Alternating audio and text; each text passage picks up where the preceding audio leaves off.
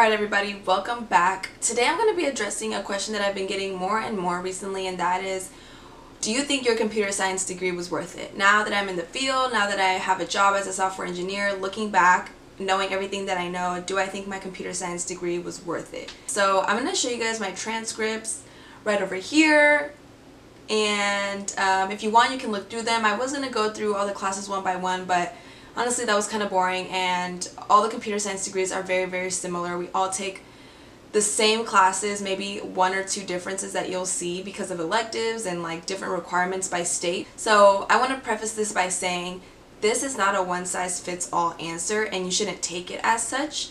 If you click on the next video right after this with the same title, you might hear a completely opposite answer. And that's the point that I kind of want to make in this video is that you can't take someone else's experience and try to copy paste that for yourself. This is a decision that you have to make for yourself based on who you are and I'm going to talk about all of the reasons why for me getting my computer science degree was definitely worth it. I don't regret it at all.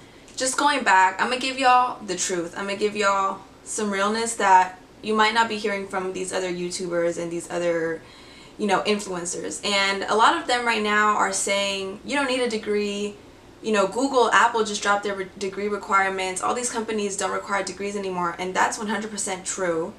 That is 100% true. You don't need a degree. You don't need anything, right? You can do whatever you want. You can self-study for a year, for six months, for 10 years, and get the knowledge that you need to go to apply to these jobs. Now, do I think that's what you should do? I am a Latina. I am an immigrant. I'm a first generation person, and as we know, sexism and racism are very real. It affects every aspect of your life and career is no different. And unfortunately in tech, like probably many other industries, women specifically and women of color are often targeted and almost harassed. Women of color are questioned. Their abilities are questioned. Their knowledge is questioned by everyone, by their bosses, by coworkers. And if you don't believe me, go on Twitter and just look up these experiences. There's a hashtag right now called AppleToo where they talk about all of the misogyny and the racism and just the exploitation that has been happening to Apple employees and now they're trying to bring that to light. So for me, being a woman and being a Latina woman, it was very important for me to get my degree so that nobody could look at me and say, oh, we would love to, but you don't have a degree. Or, oh yeah, you sound like the right fit, but unfortunately you don't have your degree or you know to have people question my abilities and my knowledge solely because I didn't have a degree. That's something that I did not want to run into as an issue and I knew that it was a prevalent issue. So for me I decided for myself I would get my degree and it's why even right now you know I've been a software engineer for I make my one year anniversary in like two weeks.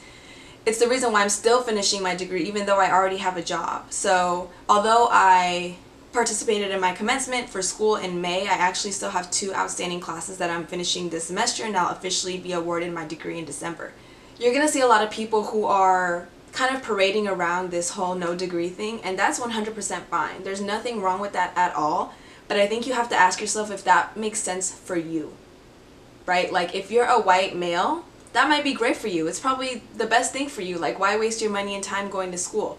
Or you know, if you have parents who work in tech and you can get your foot in the door with the first interview at Google, 100% don't get that degree if you don't need to. But if you're a person like me who comes from my background, who doesn't have any family in tech, who doesn't really have any connections in tech, well now I do because I've been here for a while, but when I was first starting out, I had no connections in tech, no friends who worked in tech who would just give me a referral. So for me, that was kind of my way in. Is like, you know what, I'm just going to get my degree and I'm going to compete with all of these students and that's why for me it was totally worth it. So knowing what I know now, if would I do my degree again? Absolutely. Absolutely, I would do my degree again. Um, and honestly, I'm going to give y'all this tea. If you're a woman or a Latino or a black student or an indigenous student or a disabled student, any of these categories where they try to other us, there's a lot of support for you to go get a computer science degree. I got my whole college paid for my college was absolutely free. I got academic scholarships for my whole five years in college. And now that I am employed, my employer reimburses me for what I spend on school. So if you're worried about cost, there's so much support out there. I'll link some of those scholarships that I got in the description so you guys can check them out. So if that was helpful, if that brought you some insight, please do subscribe. I post new technical content every week and if you guys give me any suggestions, I'll be sure to try to make a video on that. Thanks a lot, dudes!